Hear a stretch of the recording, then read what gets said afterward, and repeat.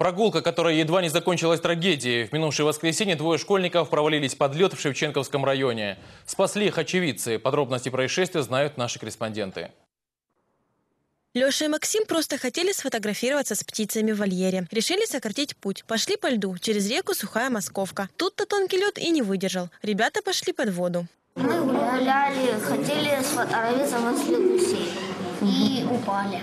И все. Нас заметили с кафе. С кафе. С кафе, да? И с машины.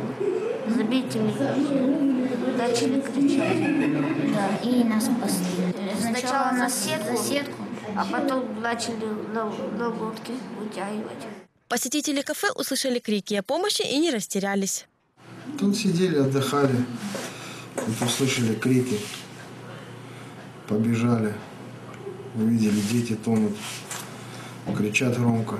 Ну, я прыгнул через забор. Прыгнул в воду. Поплыл. Подержал их.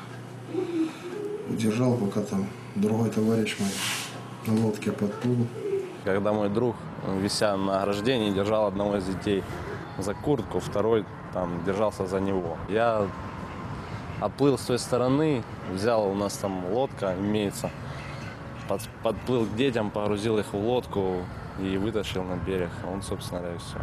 Спасатели героями себя не считают. На помощь бросились, не раздумывая. Говорят, так бы на их месте поступил каждый. Сейчас дети заболели, лечатся дома. А спасатель Артур находится в пятой городской больнице с подозрением на воспаление легких. За такой мужественный поступок Александр и Артур попадут в номинацию «Герой года». Награждение непрофессиональных спасателей ежегодно проводит МЧС.